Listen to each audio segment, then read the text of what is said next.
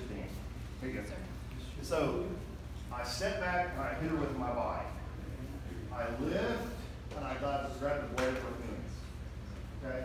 I twist and I twist in and push in.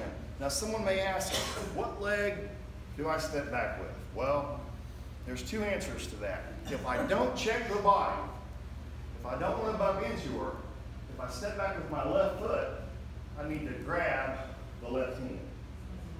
If I check her with my body, it doesn't matter. I always check the body.